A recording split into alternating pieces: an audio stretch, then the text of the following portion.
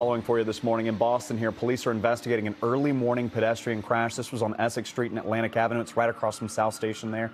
We know that the person hit was taken to the hospital and is battling life-threatening injuries. We're waiting to hear back from Boston police with more details and the cause here.